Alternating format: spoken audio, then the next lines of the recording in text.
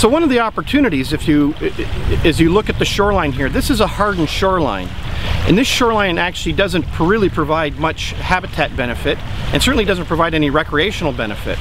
So these are the kinds of opportunities for Sandpoint and Stop 26 and, and to remove the hardened shoreline, create a beach, uh, a beach that we could recreate on,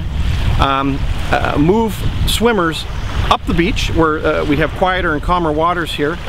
and then look at the back half of the beach to uh, execute some of the goals to uh, provide um, um, sustainable beach uh, environment and, and, uh, and actually nearshore habitat.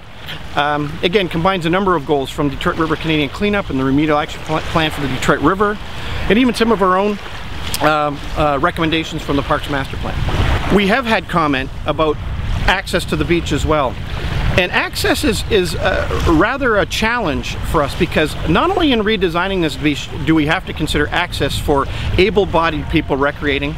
but also for those people who have physical challenges. So there are opportunities to do that kind of thing, but when it comes to parking, when it comes to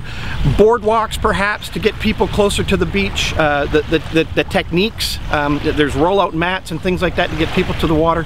those are all things that get put into a design phase. So we're a long ways from a design phase. We're more in the concept phase here. We're sort of saying, here's the recommendation, um, you know, if we like the recommendation, we want to prioritize it, we want to fund it, then at that point we'd say how much parking do we need how much boardwalk do we need how do we get all members of our